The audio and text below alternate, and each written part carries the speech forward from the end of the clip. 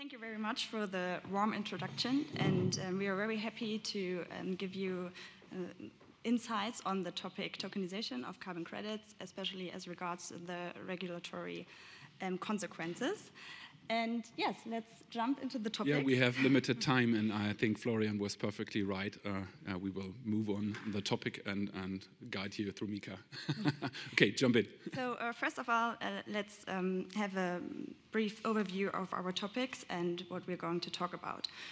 Uh, at first, we will give you a brief overview of the market and the tokenization process um, in the market, and we will um, provide you with an interpretation of the business models which we uh, identified in the market. This will be followed by a quick overview on the regulatory side, but we touched that matter really uh, very in depth uh, uh, yesterday, so we'll do it quickly. Yes, so, and then we will link the regulatory landscape to the elaborated business models and um, yes, we'll, we'll show you the consequences um, of each business model and the, the token type um, the business model is operating in. And uh, we will close our presentation with an outlook and um, yes, um, um, provide you with the further challenges in this market.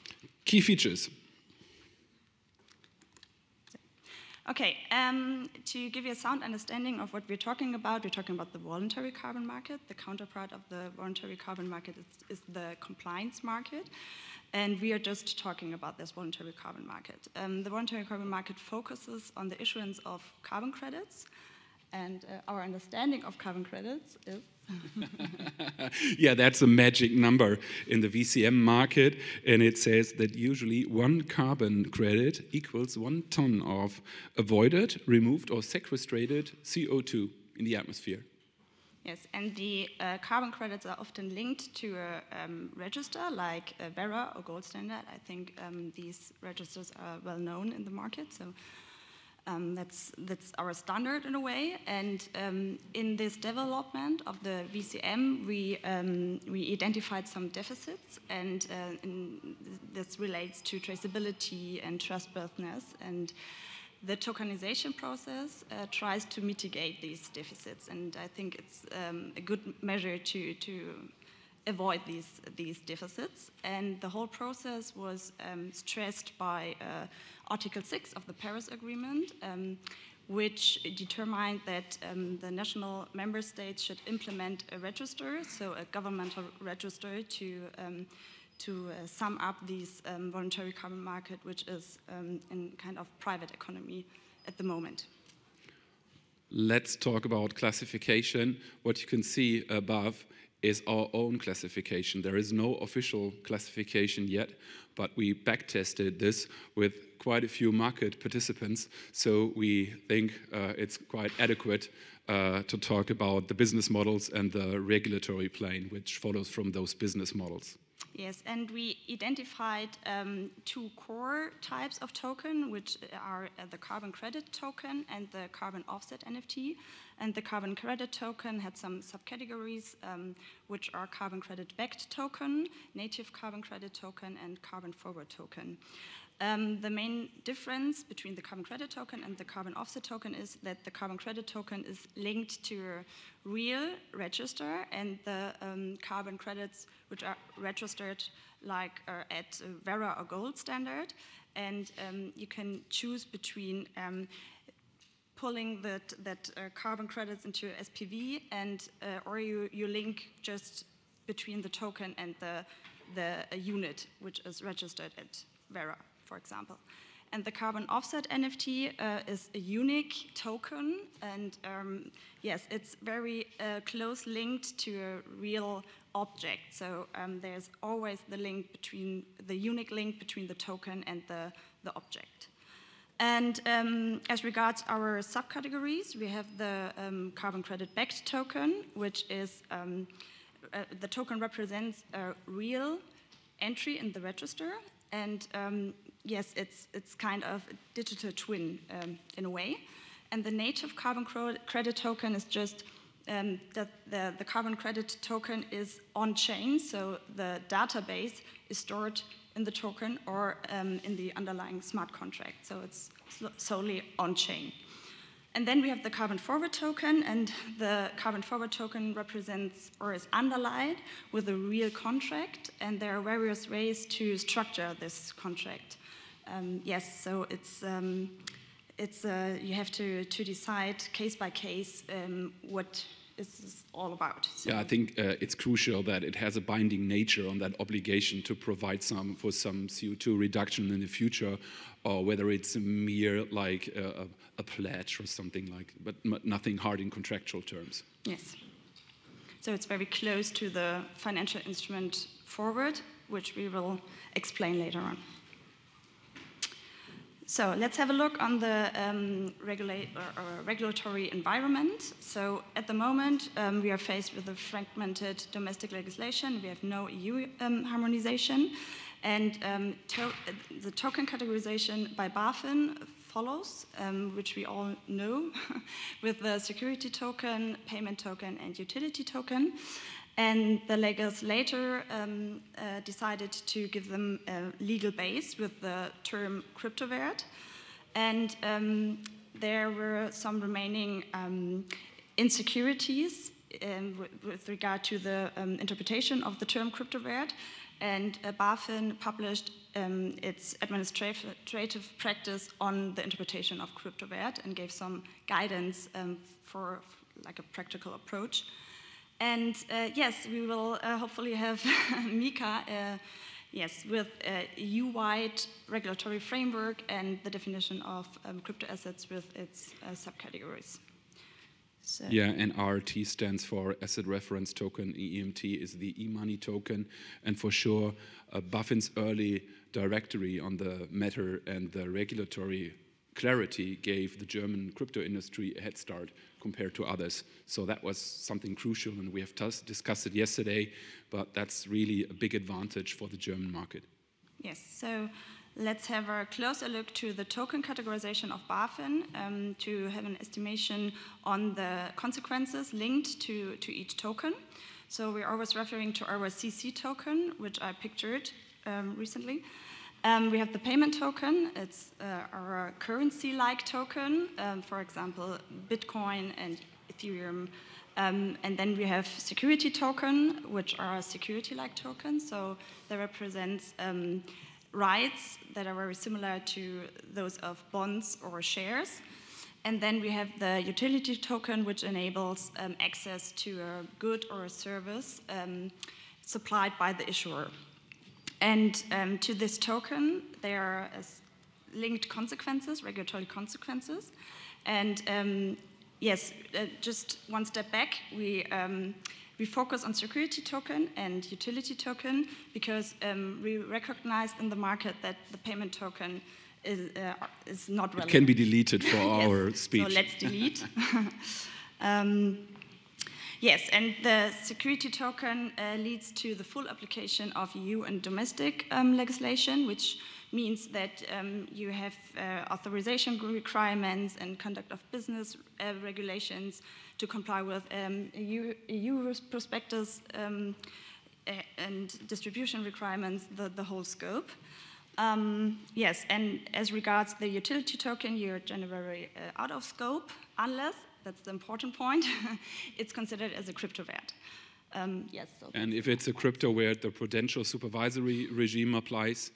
Uh, this triggers the AML uh, regime as well, but not the conduct, uh, code of conduct rules. So that is quite crucial whether you're still in the cryptowert do, uh, domain or really in the domain of a security token. And just for the sake of completeness, in very specific cases, also the so-called Vermögensanlagegesetz may apply, but that's always a case-by-case -case decision, and we leave it out here because we got only 20 minutes. So we move on.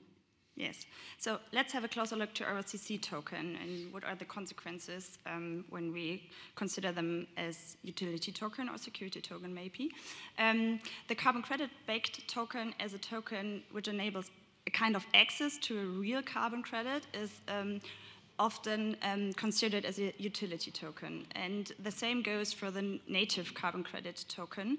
They're quite similar, um, except of the, the fact that it's not linked to real carbon credit. So it's the same um, consideration. So um, let's focus on the carbon forward token. The carbon forward token, it's important to, to look at the underlying contract when you have a binding DATI to deliver a specific amount of um, CO2 or avoided CO2 or sequestrated CO2. It's more like a real forward as in financial instrument. Um, so it's very close to the security token. So it's a case by case decision. And uh, in the case of that, the contract um, determ determined that it's just a loose promise to deliver a specific uh, CO2 um, amount. It's not recognized as a forward in this way, so there's no binding um, duty to deliver. So that's the key point. I think it's always worth to have a look at the legacy world, and if you think of the futures markets, it's something binding and not a mere promise. And if you keep this in mind, you know whether it's a security token or not. Mm -hmm. And uh, the carbon offset NFT is very close to this. Um, yes, to, to give the access or to enable the access to this specific object or to a specific good, like a tree, which is able to sequestrate a, a specific amount of CO2. So that's um, kind of utility token by nature. Yes. So that's the consequences as regards our token categorization by BaFin. So yep. we can keep in mind that, um, yes, it's we are with the um, consideration as a utility token, you're outside of scope, and the important point was unless it's considered as a cryptowert. So let's jump into the term cryptowert. Victoria, I think that is the most important slide beside yes. the MiCA slide. Huh? yeah, so we will focus on that. Um, the term cryptowert um, uh, was added to the family of the financial instruments uh, in 2020 and um, for matters of prudential supervision, but not in terms of market product supervision. And um, to be considered as a cryptowert um, leads to mandatory authorization, processes or requirements and um, the applicability of AML requirements in case of um, financial service provision in relation to this cryptowert. So it's important to know that the issuer is uh, kind of out of scope, but when you're um, providing services, uh, these requirements become uh, important. And the key features of this cryptowert is the investment purpose and uh, the tradability. So these are kind of vague terms, so it they need to be interpreted, and there were some insecurities in the market how to deal with these terms. And um, two weeks ago, I think, BaFin Very published, yes, published some guidance with its uh, administrative practice of how to interpret this term and these vague terms. And um, in the view of, of BaFin, they intended investment purpose um, manifested through contractual or sales documentation. So yeah, that, that is crucial. It's not the, the, the subjective, speculative nature, the investment purpose, but uh, you have to look at the issuer, what the issuer says. And if the issuer says that's something for investment purposes, uh, that's uh, it will be a cryptowert then. Or if an intermediary uh, uh, like uh, says, oh, that's that's something for investment purposes uh, in terms of marketing material. So always have a look whether you find something. It's not the subjective view of a single person, but what uh, is the attention of the issuer. Mm -hmm. And the second point is the tradability. So you need a, a certain level of um, standardization, which requires homogeneity and um, the represented rights or assets must be um, issued in a considerable volume. So we need um, more than, I think the, the edge is 1,000 token to be uh, issued to, to cross that, that line. Yes, so that yeah. gave us uh, more yeah. security in this regard. And you're not out of scope because of an individual, individual token idea. This wouldn't help. BaFin clarified this. So uh, don't think of like projects using different token IDs as such. It wouldn't put you out of scope anymore. So you need unique uh, features and um, the ERC 721 standard could be helpful, but you uh, need these unique features. That's important. And um, yes, and the, the quite small volume of the, of the uh, token issuance. So as regards our CC token, uh, what are the consequences? Um, when we look at our carbon credit-backed token, it's quite obvious that they uh, will be issued in a considerable manner and um, the, the investment purpose is kind of intended because you want to, to offer a product which is kind of tradable and which um, will be um, yes, for the for the in investor uh, it must be a kind of there must be an investment purpose in a way. So that's a clear direction in the uh, uh, is to to consider it as a crypto asset, and the same goes for the native carbon credit token. Um, because they're quite similar. When we look at the carbon forward token, they are very close to a security token, so they're quite near this edge to be considered as a crypto asset. And um, either if they're not considered as a financial instrument yes, under MiFID. Either financial instrument or crypto asset. So you're uh, mostly not out of scope. So let's see what uh, what the, the, what the practical view is on this yeah. topic. But yes, when we look at the carbon offset NFT, um, it's yes, it's important that the unique um, token to be out of scope and um, the the small volume. So yeah, it's, it's, it's, not part of a collection. Yeah, so um, yeah, it a case by it's a case by case decision. Yes, and you have just a small loophole to be out of scope.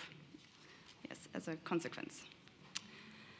Okay, so how things are changing when uh, with, with, MiCA, we have with MiCA a single rulebook uh, which enables EU passporting, and uh, we have a comprehensive definition of crypto assets with its subcategories, which yeah, we all right. know. And uh, it, or MiCA establishes regulatory requirements very similar to MiFID II, um, which are the base requirements for utility token and other crypto assets. And these uh, leads to authorization um, requirements for CASPs, uh, white paper publishing requirements, and conduct of business obligations and MRV provisions. For the issuers as well, yeah. Yes, and uh, the increased requirements linked to RTs and EMTs are um, that you have authorization requirements for the issuer. That's important. It's not only for the CAS, but um, for the issuer itself. And uh, the obligation to own funds and um, to, to have re a reserve of assets, and um, that's, that's quite uh, broad. And we have also some exceptions in MiCA um, as regards NFT, but um, must be provided that they are not part of a large series. That's also a vague term. So, what's the meaning of large series? Could be anything, uh, or a collection, and um, the represented assets or rights uh, must be unique. And then uh, we have the exception for uh, financial instruments because they're um, they're um, yes in the, the MiFID II regime. So, yeah. other. And, DeFi protocols are uh, outside the scope, but there's a revision uh, clause baked into the regulation. And but this applies only to fully decentralized systems. And if there is an intermediary, invo intermediary involved, you're caught by that uh, uh, regulation.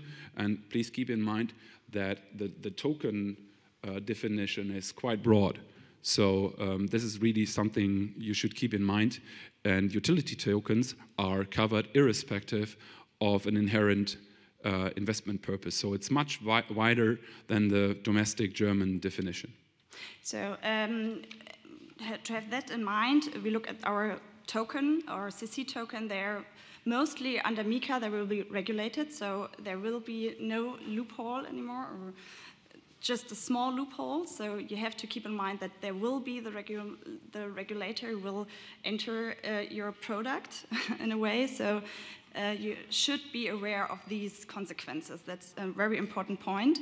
Um, so to sum it up, we uh, have with the CC tokenization still some insecurities, some uncertainties, and MiCA will uh, mitigate some uncertainties, but there, we have to wait to level two or three measures to, to have more um, clarity in this regards, and we want to motivate the whole market to yes, to enter um, the, the regulatory plane as a vital step to hedge um, against the uncertainties and to avoid the negative consequences of an unauthorized business and to contrib contribute standardization and to build a, a robust market with an attractive um, product for investors, um, private investors uh, and institutional investors, and to have a tradable and liquid uh, market. I think, in essence, if you want to appeal to institutional uh, investors, there's no way out. Prepare for the regulation and do it in time. Thank you very much.